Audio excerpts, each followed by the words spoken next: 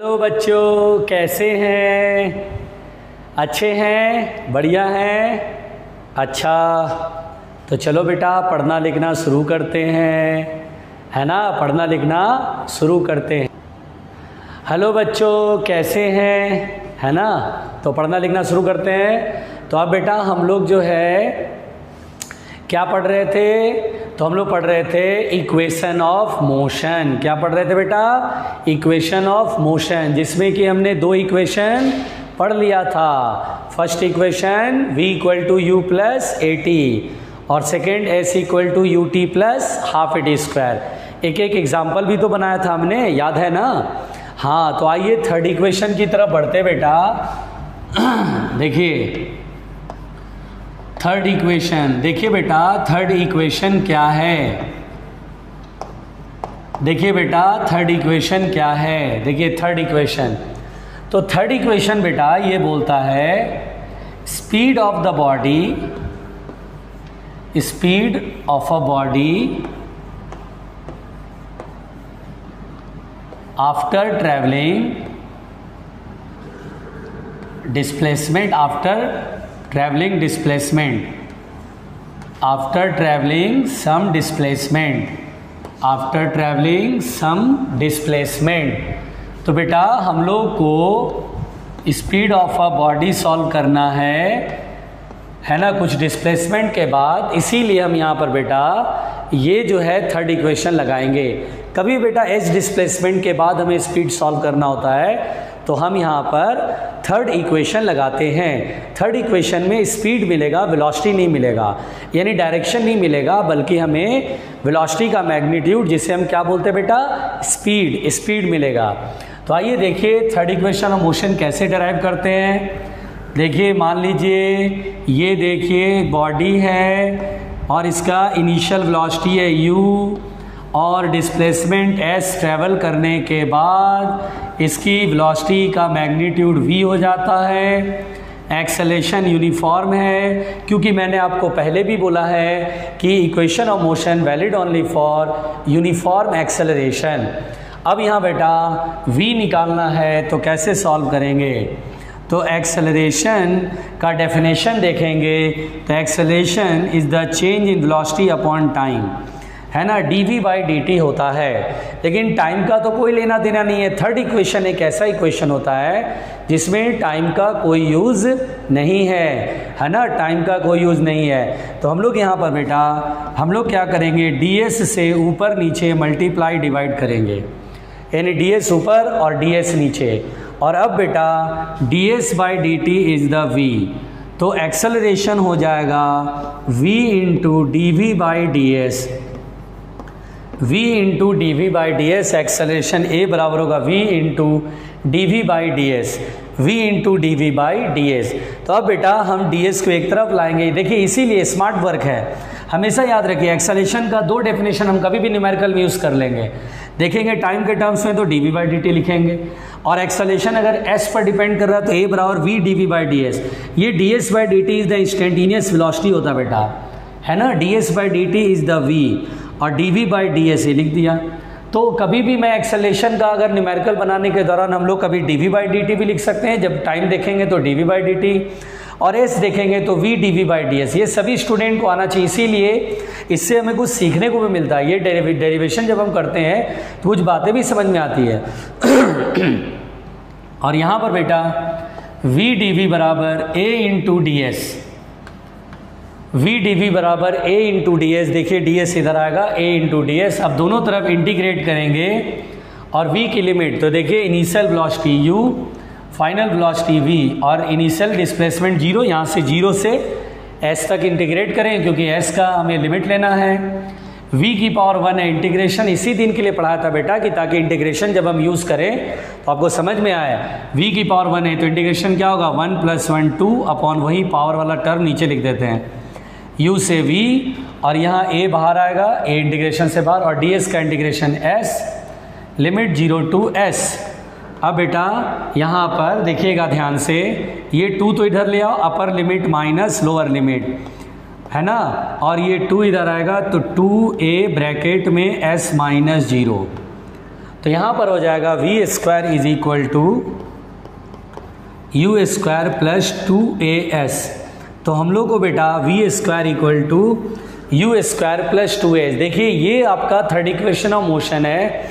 V square equal to u square plus two a s ये देखिए, कितना important बात है कि ये थर्ड इक्वेशन कैसे डेराइव हुआ।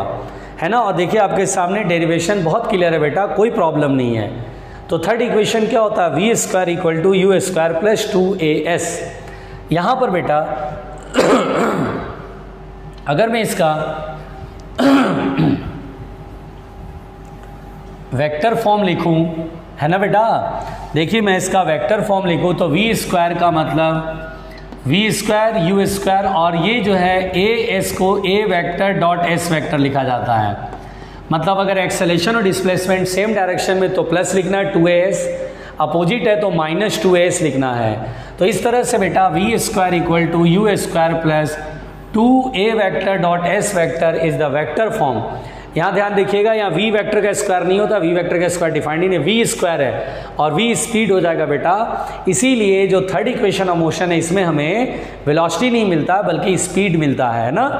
And it is a pure scalar क्योंकि दो वेक्टर का डॉट प्रोडक्ट करते हैं तो स्केलर मिलता है, ये भी स्केलर ये भी स्केलर यानी कि थर्ड इक्वेशन ऐसा है जिसमें कि आपको स्केलर क्वांटिटी मिलेगी।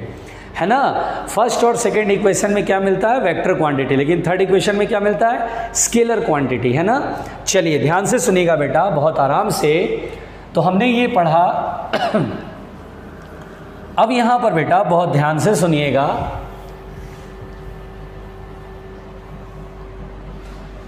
बहुत ध्यान से सुनिएगा कि यहाँ पर बेटा, जो अब मैं इस पर क्वेश्चन बनाऊँ तो ध्यान दीजिएगा, क्वेश्चन क्या है? जैसे मैं आपसे कहूँ कि एक बॉडी है और इसमें इनिशियल स्पीड है five metre per second suppose that और एक्सेलरेशन है, मान लीजिए two metre per second square acceleration है। आपसे कह रहा है कि दो मीटर डिस्टेंस के बाद बताइए कितना स्पीड होएगा। ठीक है ना? बिल्कुल आराम से समझना। टू मीटर ट्रेवल करने के बाद कितना स्पीड होएगा। अगर ऐसा कह दिया तो कैसे करेंगे बेटा? तो हम लोग यहाँ पर बोलेंगे, देखिए सर एच डिस्टेंस के बाद स्पीड कह रहा है तो फ़र्स्ट नहीं लगेगा, सेकंड नहीं लगेगा, थर्ड लगेगा। तो यहाँ पर बेटा स्पीड सॉल्व करना है तो हम लोग यहाँ पर बहुत सिंपल तरीके से करेंगे कि थर्ड इक्वेशन लगाएँगे v square equal to u square plus two a s है ना? V square equal to u square plus two a s s distance और डिस्प्लेसमेंट ये डिस्प्लेसमेंट है बेसिकली बेटा। जब सामने सामने चलता है तो हम इसे डिस्टेंस और डिस्प्लेसमेंट से ही मानते हैं। अगर आगे जाके लौट रहा है तो फिर ये एस डिस्प्लेसमेंट ही हो जाएगा। यहाँ पर बेटा वी स्क्वायर निकालना है यू की वैल्यू फाइव का स्क्वायर ट्वेंटी फाइव ए की वैल्यू टू एस की वैल्यू भी टू तो ये टू टू जा फोर टू जा एट ट्वेंटी फाइव और एट कितना आएगा बेटा? Thirty three so v is equal to होगा root under thirty three metre per second तो यहाँ पर बेटा ये स्पीड होगा रूट अंडर थर्टी थ्री तो ये बेटा स्पीड है ये सिंपल सी कहानी है बहुत ध्यान से देखना कुछ भी नहीं है ठीक है आइए अगला क्वेश्चन देखते हैं बहुत आराम से डरना बिल्कुल नहीं है ठीक मिटा दे बेटा चलिए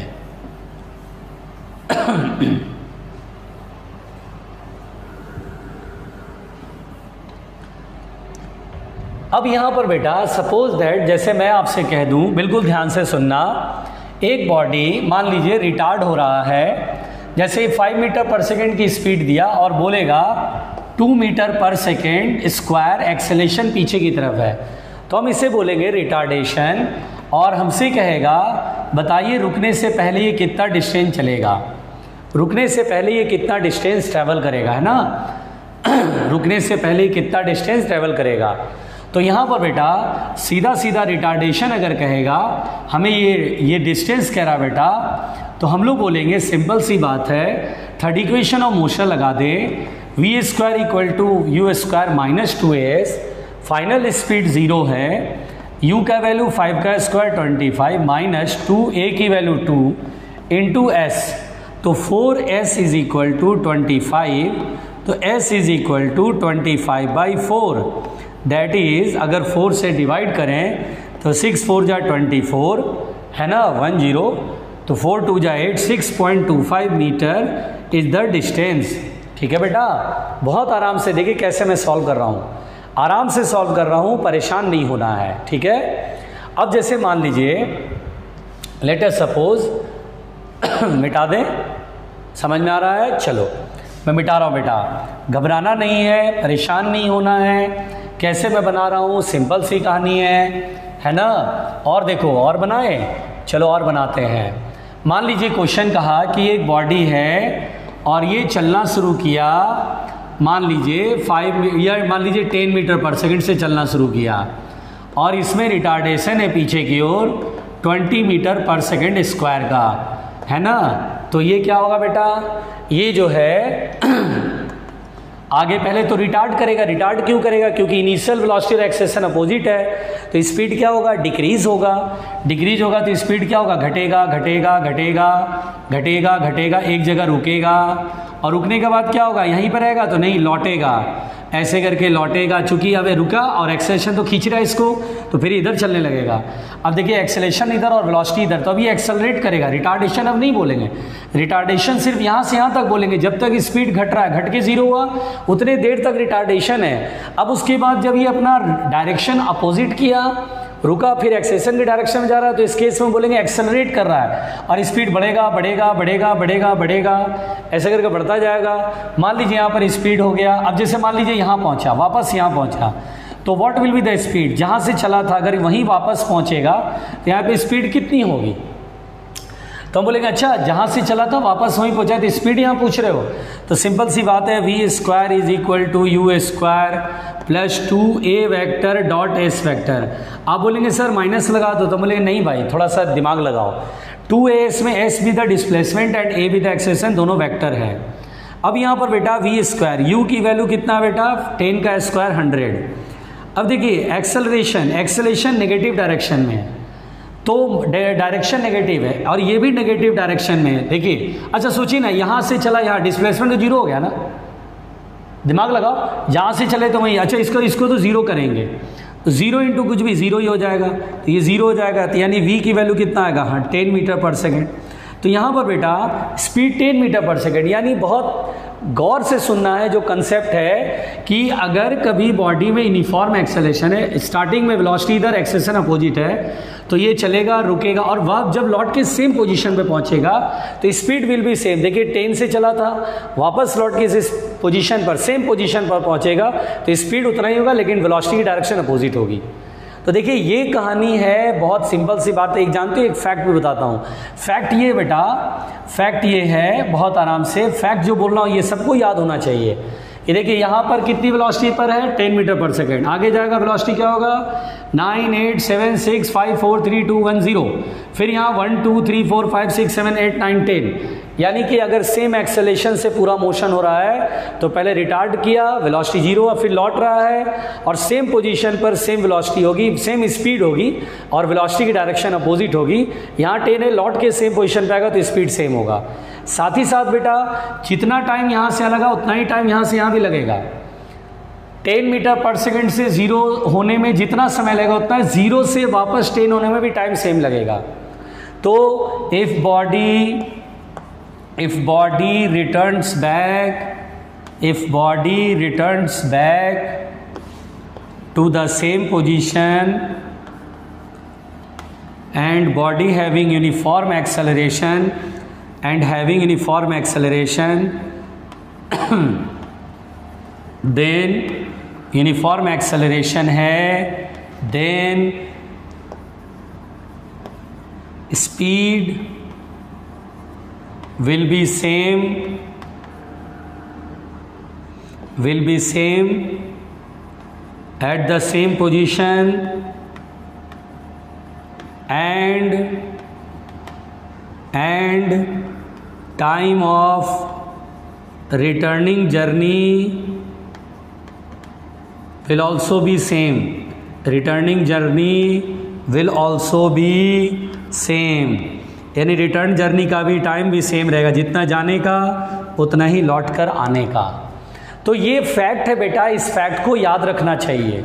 जब भी यूनिफॉर्म एक्सेलेशन से चल रहा हो, पहले रिटार्ड हुआ, फिर लौट करके एक्सेलरेट हो रहा है। तो बोला सेम पोजीशन पे लौटेगा तो सेम स्पीड से लौटेगा, और जितना टाइम जाने का, उतना ही टाइम वापस आने का। सिंपल नहीं आ रहा समझ में? बहुत आसान है। तो ये फैक्ट भी है, इस फैक्ट को लोग याद रखते हैं। न्यूमेरिकल में तुरंत काम आता है, तुरंत ऐसे चुटकी बजाएँगे, तुरंत, अरे हाँ सर, आंसर ये होगा। देखिए सर, लौट के सेम पोजीशन पे आ रहा है स्पीड सेम होगा। जितना टाइम जाने का, उतना ही टाइम लौटने का। ऐसे लोग याद रखते हैं बेटा। और मेरे ख्याल से आप भी याद रखेंगे। आ रही समझ में? न्यूमेरिकल बनाना है ना आपको तो कैसे चल रहा मामला ये समझ में आना चाहिए। चलिए, देखते हैं बेटा।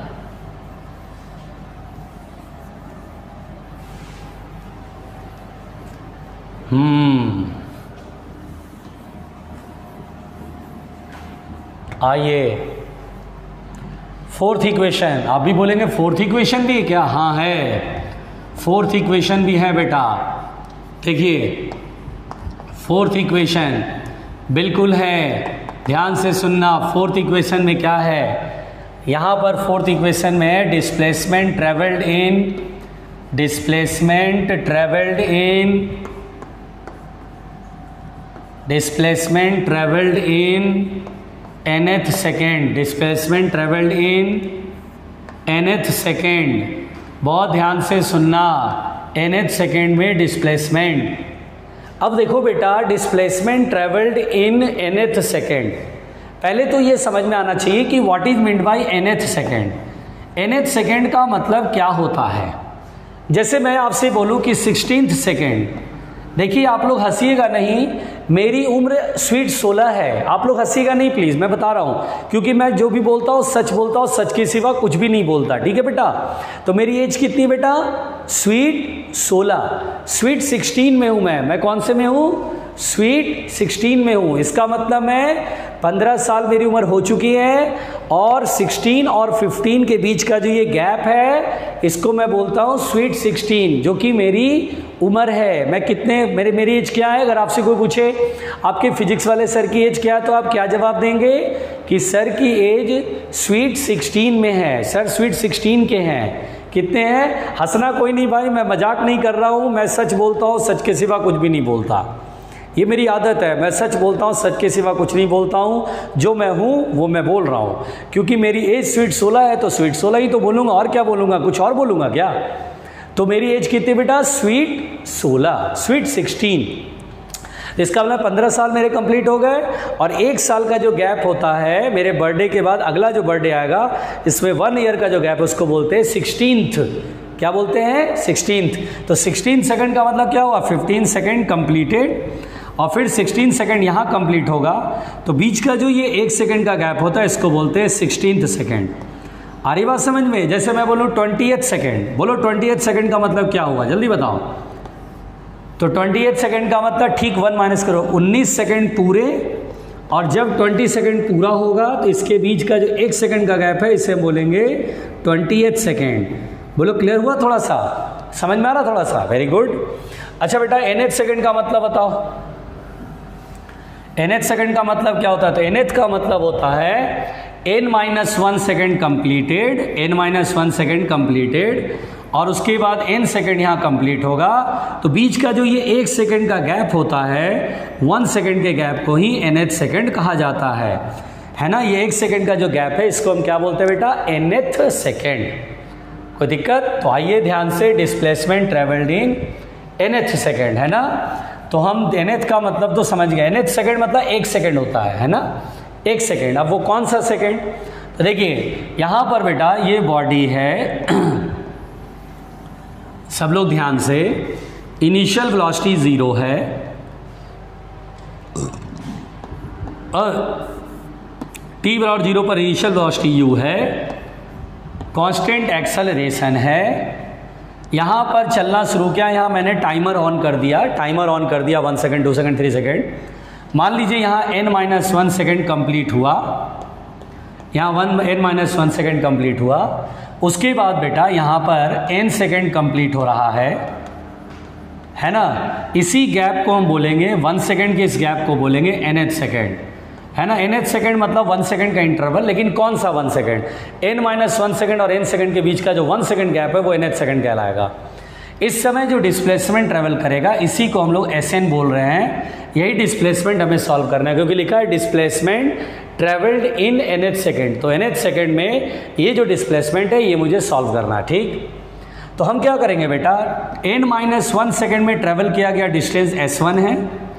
और टोटल एन सेकेंड में डिस्प्लेसमेंट जो ट्रेवल किया गया एस टू है। मैं क्या करूँगा? एस एन निकालने के लिए एन एच सेकेंड का जो डिस्प्लेसमेंट निकालने के लिए, मैं एस टू में से एस वन को सेपरेट कर दूँगा। तो यहाँ पर बेटा, सबसे पहले मैं एस वन सॉल्व करूँगा। एस वन मतलब एन माइनस वन सेकेंड में ट्रेवल किया गया डिस्टेंस तो एस बराबर u t plus half d square t की वैल्यू एन माइनस वन होता है ना u t plus half d square second equation motion plus half a t square, half a, n minus one का whole square. उसके बाद बेटा s two s two is equal to होगा u t, यहाँ से यहाँ तक टाइम कितना लगेगा? एन। तो u into n plus half a, n square. तो एस एन, यानी displacement travelled in n h second. तो एस एन की वैल्यू क्या होगा बेटा? S two minus s one. है ना? S two minus s one. S two ये, एस वन ये। तो बेटा यहाँ वैल्यू रखेंगे, घबराना नहीं। एस टू का वैल्यू है u n plus half a n square और एस वन की वैल्यू माइनस के साथ यहाँ माइनस लगाएँगे। यू एन माइनस वन और फिर यहाँ plus minus minus half a n minus one का होल स्क्वायर ठीक है? घबराना नहीं बेटा। नज़र आ रहा होगा टेंशन नहीं है। चलो अब सॉल्व करते हैं। मैं इधर मिटा देता हूँ बहुत आराम से। घबराने का नहीं भाई। घबराने का नहीं भाई। देखिए, अब यहाँ पर बेटा बहुत ध्यान से सुनिएगा। तो s n is equal to u n plus half a n square और फिर उसके बाद माइनस लगा ब्रैकेट खोलेंगे, u two n u into n minus minus plus plus u है ना बेटा? घबराना नहीं, डरना नहीं, मैं हूँ ना। यहीं पे हूँ, परेशान मत होना। और उसके बाद बेटा minus half a n minus one का whole square u n plus और ये माइनस कैंसिल आउट तो बेटा s n is equal to हो जाएगा हाफ़ देखिए, वो पहले यू लिख देते हैं यू प्लस और हाफ़ ए कॉमन ले लेते हैं। यहाँ होगा n square minus n minus one का होल स्क्वायर अब यहाँ पर आया a square minus b square जो कि a plus b into a minus b होगा। तो s n is equal to s n is equal to u plus half a और a square minus b square a plus b into a minus b एक बार plus एक बार minus a plus b plus n minus one और एक बार a minus b n minus minus करेंगे तो n plus one हो जाएगा ना। देखो माइनस एन और प्लस वन एन से एन कैंसिल आउट तो displacement travelled in n h second is u plus half a two n minus one this is the displacement travelled in n h second तो u plus half a two n minus one is the displacement travelled ये बेटा distance नहीं है। बहुत सारे अजीब प्राणी होते हैं, वो डिस्टेंस डिस्प्लेसमेंट को डिस्टेंस समझ लेते हैं। इसको वेक्टर फॉर्म में मैं लिख देता हूँ, जिससे आप कभी भी ये कन्फ्यूज़न में मत आना, क्योंकि डिस्प्लेसमेंट ही वेक्टर फॉर्म होता है। तो मैं वेक्टर फॉर्म लिख देता हूँ। In vector form it is written as बेटा, बहुत प्यार से।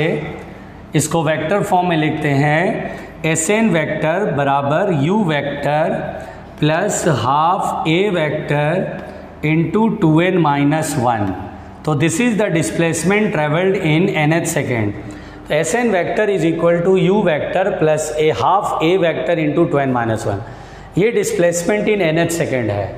तो आप देख रहे हैं सब कुछ, कोई दिक्कत तो नहीं है। एस एन क्या है बेटा? डिस्प्लेसमेंट यू क्या बेटा? इनिशियल वेलोसिटी ए क्या बेटा? एक्सेलेशन और एन क्या है? एन एच सेकेंड तो इस तरह से हम लोगों ने बेटा, ये displacement travelled in n h second को पढ़ा, है ना? जैसे इस पर क्वेश्चन बनाते हैं बेटा।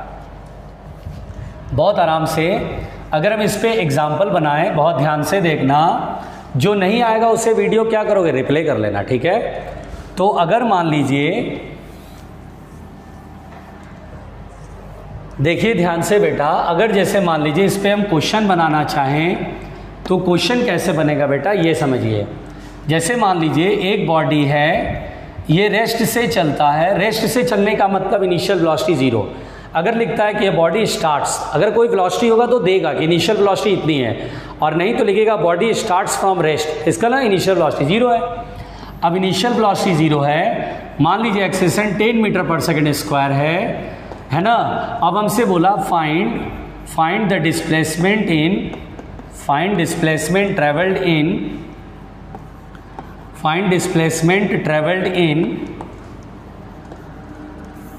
travelled in fifth second fifth second बोल रहा बेटा। है ना? फिफ्थ सेकेंड देखिए क्या होगा। तो फिफ्थ सेकेंड का मतलब अब हम सॉल्व करेंगे।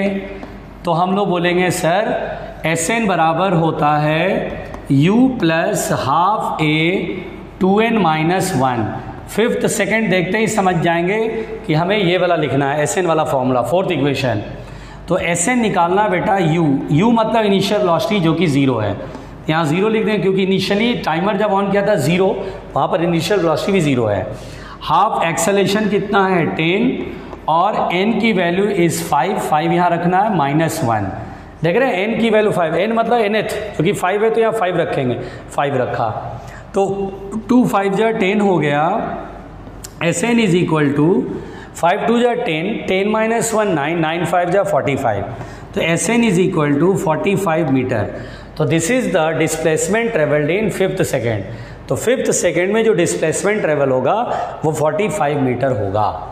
बात समझ में आ रही है? कोई दिक्कत तो नहीं है? चलिए, देखिए, घबराइएगा नहीं। एक क्वेश्चन और बनाते बेटा। चलिए।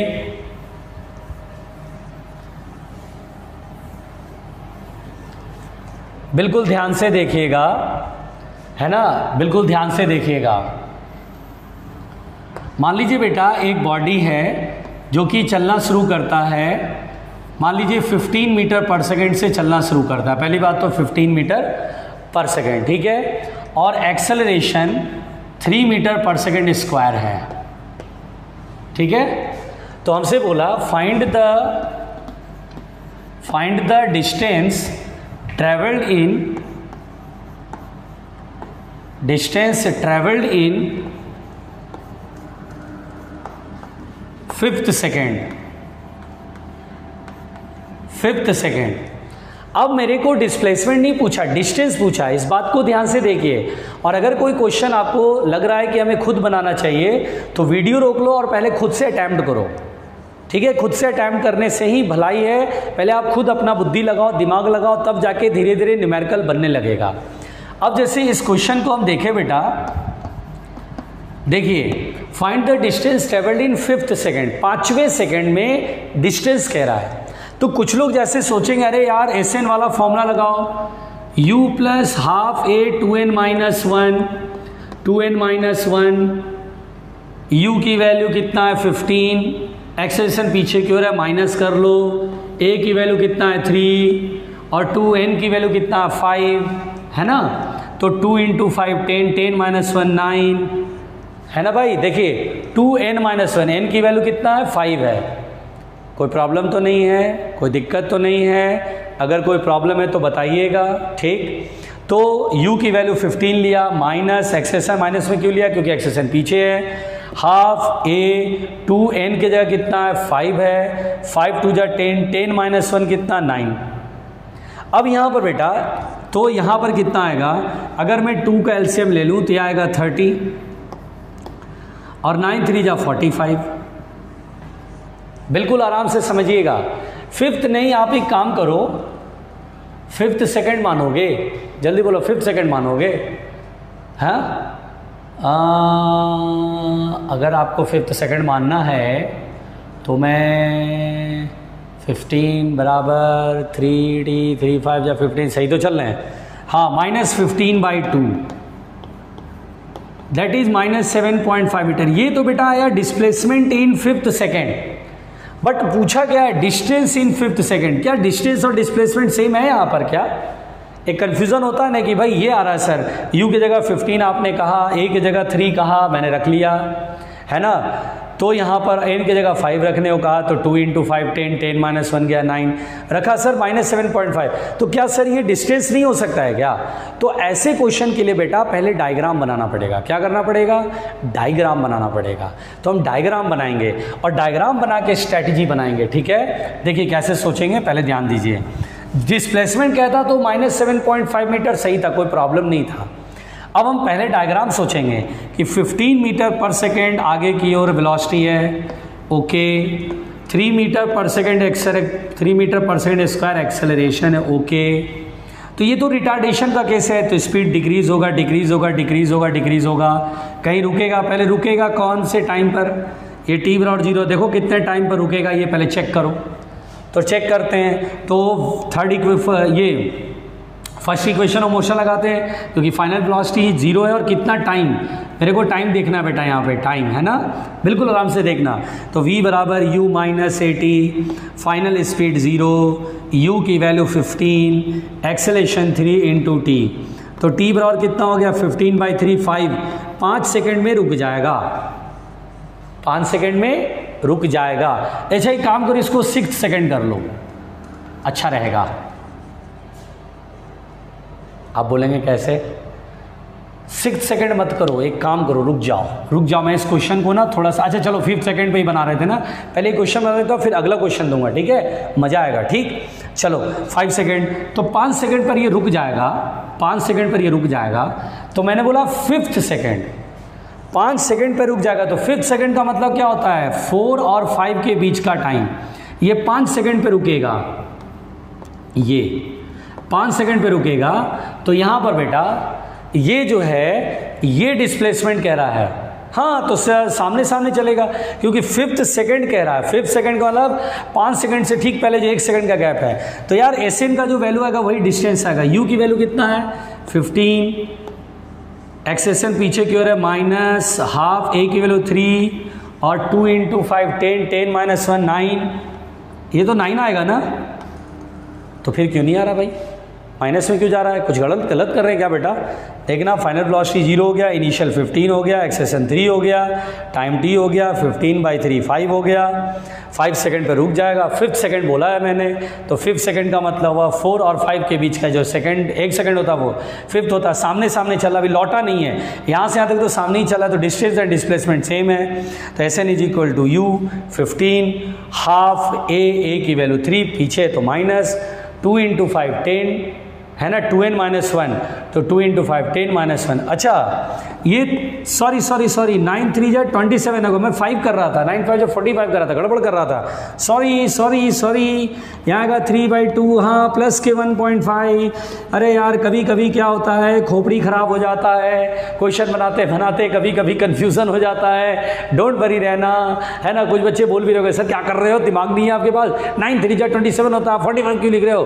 कोई नहीं बेटा कभी कभी होता है। इंसान है यार कभी कभी मिस्टेक हो जाता है। ठीक है? But don't worry it's okay don't worry it's okay परेशान मत होना, ठीक? चलो भाई।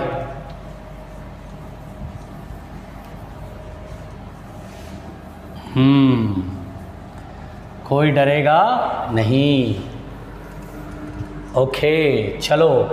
फिफ्थ इक्वेशन देखते हैं बेटा। फिफ्थ इक्वेशन है ना? बहुत आराम से। फिफ्थ इक्वेशन कभी कभी काम आ जाएगा, बहुत आराम से। जितने इक्वेशन पढ़ा रहे हैं, सब ध्यान से सुनना।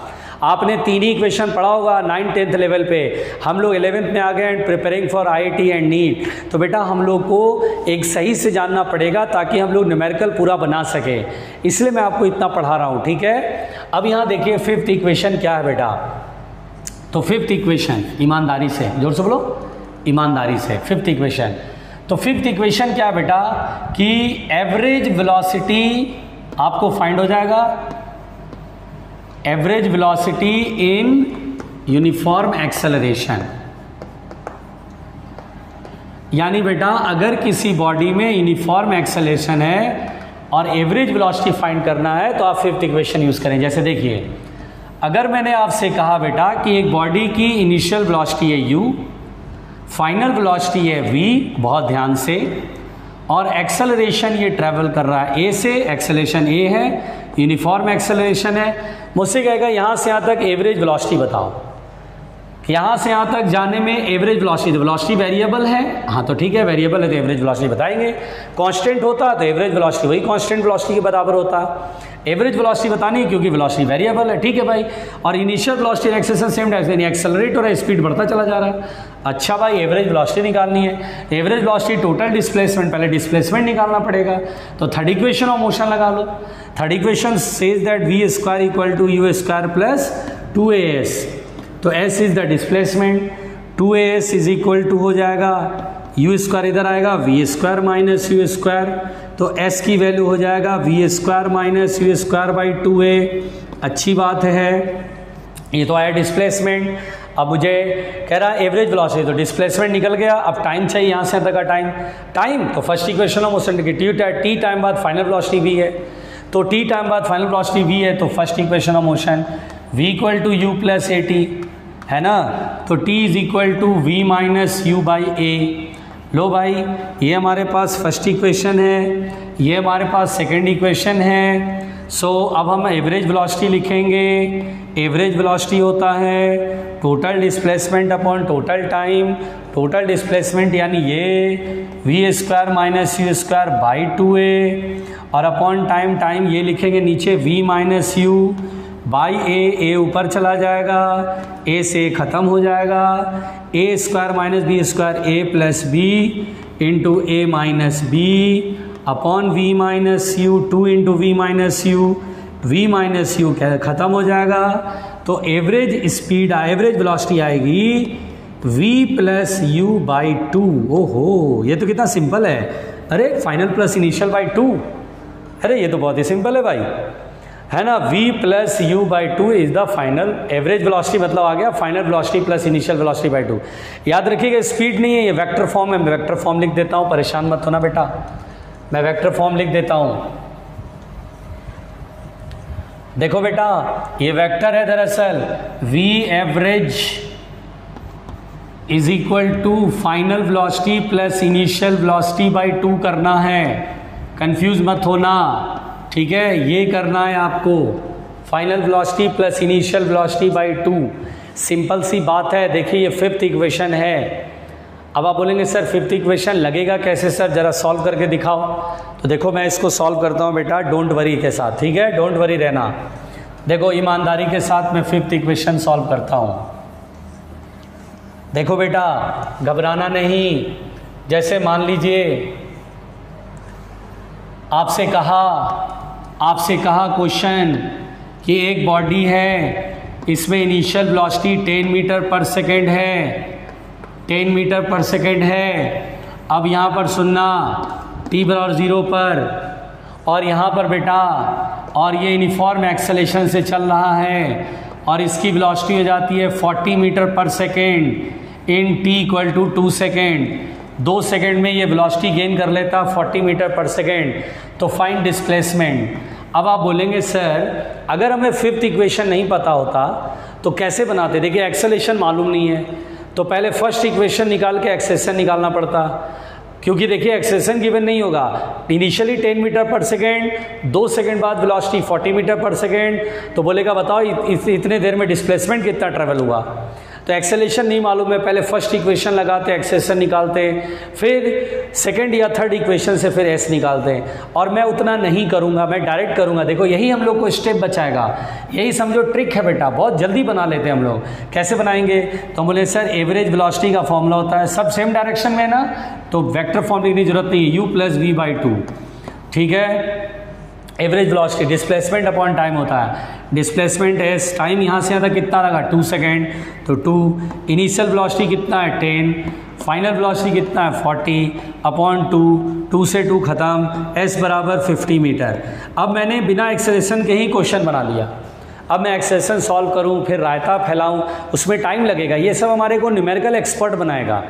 लोगों को पता ही नहीं है और लोग अंधेरे में तीर मारते रहते हैं, पहले एक्सेसन निकालेंगे, फिर सेकंड या थर्ड इक्वेशन में रखेंगे एस निकालने के लिए। तो ज़रूरत क्या है? हमें तो पता है भाई फिफ्थ इक्वेशन लगाएँगे, बात खत्म हो जाएगी। ठीक है ना? प्रॉब्लम कुछ भी नहीं है। ठीक, फिर सुनिए बेटा, बहुत ध्यान से मिटा रहा हूँ, है ना? चलिए। बहुत ध्यान से, बड़ी ईमानदारी के साथ।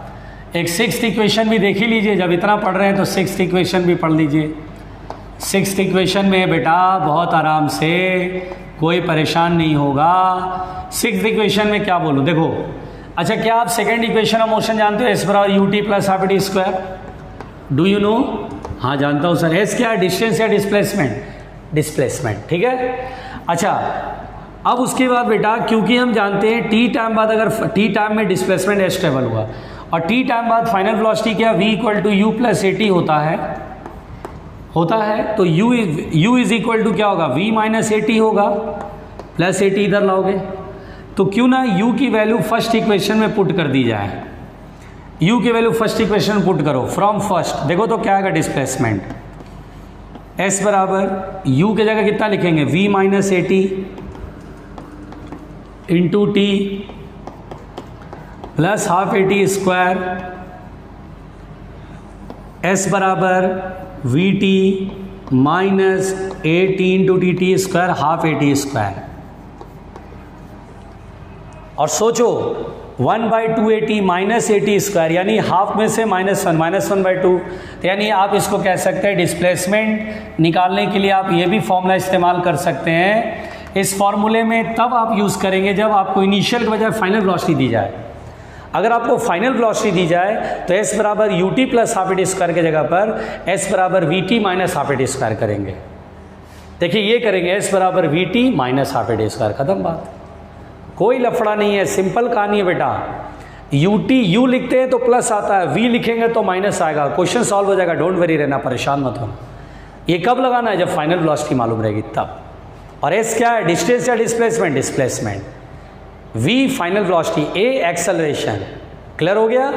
तो इस तरह से देखिए बेटा टोटल छः इक्वेशन है है ना? टोटल छः इक्वेशन इसमें पाँच इक्वेशन तो बहुत इंपॉर्टेंट है। सिक्स इक्वेशन तो कहीं पर आपको दिख जाएगा तो आप डरेंगे नहीं। कि हाँ सर पता है सिक्स इक्वेशन क्या होता है। V t minus half t square होता है। बोलो क्लियर हो गया? तो हमने आपको इक्वेशन ऑफ़ मोशन तो पहले क्लियर कर दिया बेटा, सब समझा दिया, है ना? आइए, ध्यान से देखिएगा। बहुत आराम से देखिएगा।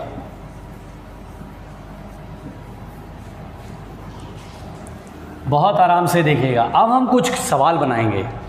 अब हम कुछ क्वेश्चन बनाएँगे क्वेश्चन बनाएँगे तो धीरे से हमें प्रैक्टिस होगा न्यूमेरिकल बनाना आएगा।